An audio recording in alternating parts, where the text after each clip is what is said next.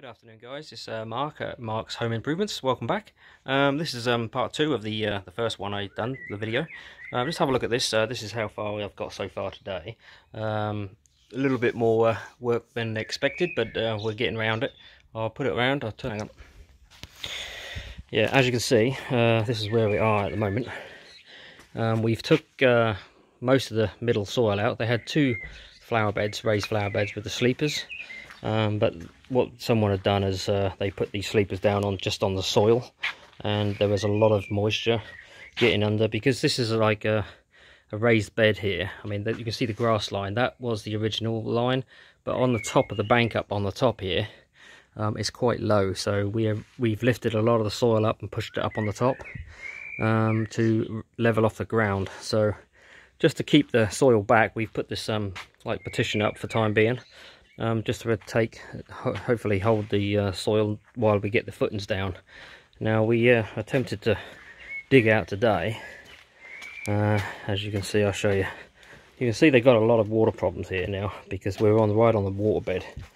Now, as you can see there, I mean, I've only just gone down 300 and straight away I've hit the water line.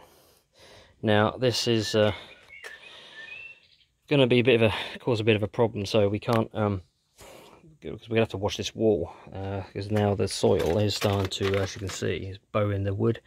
Now the wood is having a slight curve anyway but um, we had to just sort of petition that for time being. I've put a hold on it now for digging out. So what we're going to do is uh, dig out um, and do a stage by stage. So as soon as we dig it out we're going to backfill it straight away with concrete. Um, because a lot of the time we're digging it out and it's filling straight up. We've, dig a, we just dug a hole here just to keep an eye on the water line and see where it goes down over time. Um, if it does, within the next couple of weeks, we'll come straight back and start putting concrete in. But uh, yeah, it's um, this is going to be a retaining wall uh, with steel rebar rebars going in it, um, hollow blocks, concrete hollow blocks, um, and it's going to have double concrete blocks on the bottom going up to at least six or seven bricks high. Now that's going to take quite a bit of weight so we're putting the, that's why we're putting the steel bars in there.